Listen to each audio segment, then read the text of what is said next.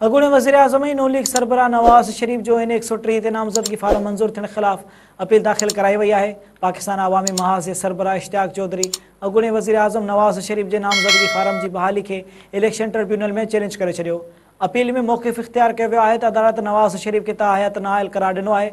उन करे नवाज़ शरीफ़ चूंडनि में हिसो वठण जे अहल न आहे। नवाज़ शरीफ़ जो नामज़दगी फारम रद्द कयो वञे। ॿी तरफ़ मुख़्तलिफ़ उमेदवारनि तरफ़ां नामज़दगी फारम रद्द थियण ख़िलाफ़ बि दाख़िल करायूं वियूं आहिनि।